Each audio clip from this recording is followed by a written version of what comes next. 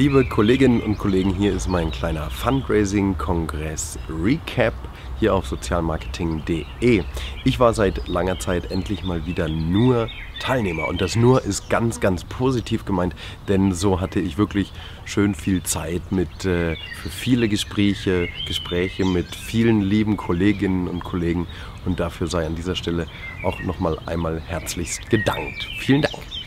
Ähm, mein erstes persönliches Highlight war dann auch wirklich, wie schon von anderen hier in den Recaps, der ähm, Workshop, der sich mit der Zukunft des Deutschen Fundraising-Verbandes beschäftigt hat. Was ich dort nämlich erleben durfte, war ja etwas sehr Besonderes, wie ich fand. 50 Kolleginnen und Kollegen, die sich mit der Zukunft und Gegenwart eben des, äh, aber in erster Linie Zukunft des Deutschen Fundraising-Verbandes ähm, auseinandergesetzt haben und ja, es war einfach eine wahnsinns gute Energie den ganzen Tag in diesem Raum. Es wurde ja mit Open Space Methode gearbeitet und äh, an insgesamt zwölf Themen, wie zum Beispiel, ähm, was hatten wir da, Governance, Pressearbeit äh, oder Lobbyarbeit, auch natürlich ein wichtiges Thema.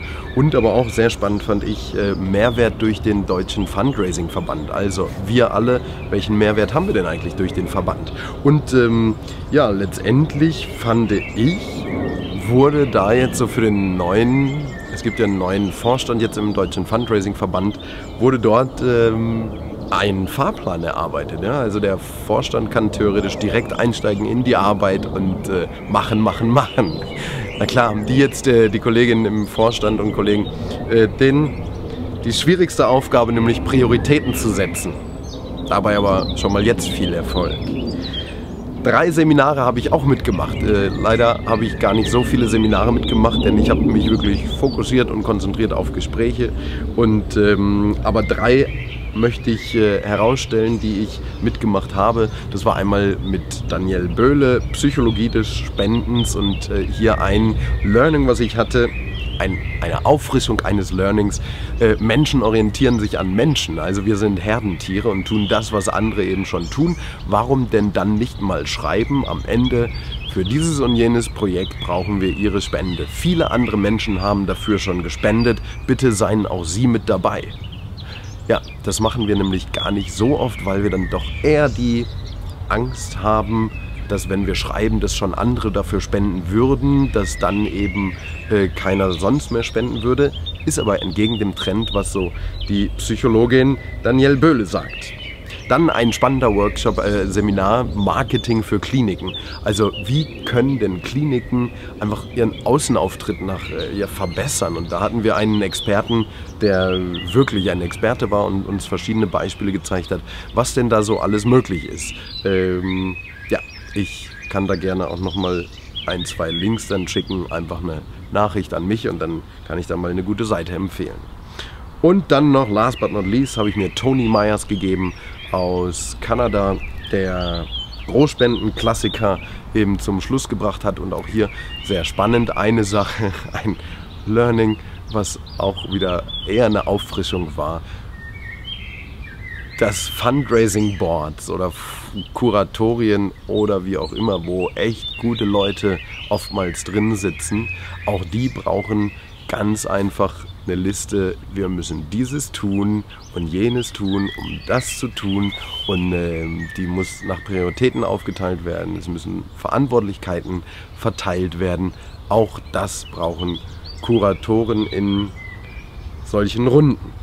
Es gab natürlich auch wieder Punkte, die zu verbessern sind auf diesem Kongress. Klar, es wäre ja auch sonst langweilig. Ähm, es muss ja auch immer wieder Luft nach oben geben, oder? Sonst könnten wir ja nichts fürs nächste Mal verbessern. verbessern. Nur eines rausgegriffen, Keynotes auch an anderer Stelle wurde darüber schon gesprochen. Ich würde gerne diesen Fundcast jetzt auch nutzen, um einfach mal ein paar Standards festzulegen, die vielleicht von Keynote-Speakern abgefragt werden sollten. Also, eine Keynote muss frei vorgetragen sein. Eine Keynote muss sympathisch, äh, ein Speaker muss sympathisch rüberkommen. Er muss begeistern, oder sie natürlich muss begeistern. Es müssen Inhalte drin vorkommen, mit denen ich dann am nächsten Tag etwas anderes machen kann und der Keynote Speaker, Speakerin muss begeistern. Ich finde, das sind so fünf Standards, die man einfach von äh, ähm, Keynote Speakern erwarten kann. Ich bin gespannt, was da im nächsten Jahr äh, dann an Speakern ausgewählt wird.